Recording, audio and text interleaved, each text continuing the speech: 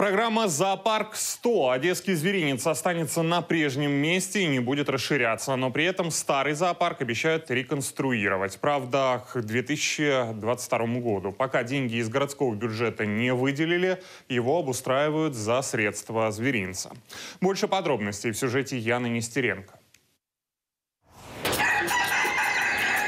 Поднимайте, приподнимайте, это неудобно. Ага, наоборот.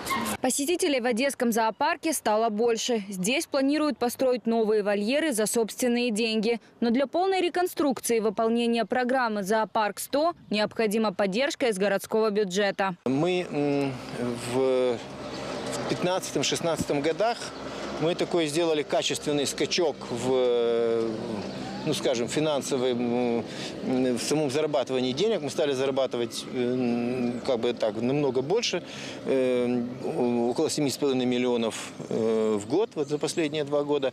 За это время в зоопарке появился новый обезьянник, вольеры для волков и тигров. Сейчас строят и новый домик для косолапых. Будет бассейн, чтобы они могли купаться.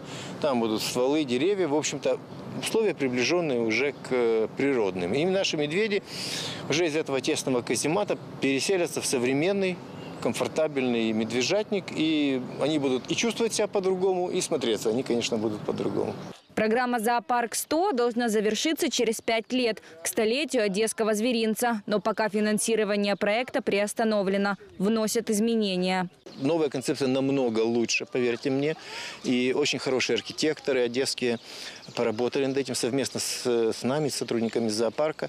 И на сегодняшний день есть очень, очень хороший проект. И, и практически э, при наличии финансирования, конечно, можно было бы уже приступать к... Ну, чем больше будет денег, грубо говоря, тем э, быстрее мы сделаем э, э, вот эту реконструкцию. Кроме собственных денег и финансирования из бюджета, зоопарк рассчитывает и на инвесторов. Яна Нестеренко, Алексей Филиппов, Седьмой канал.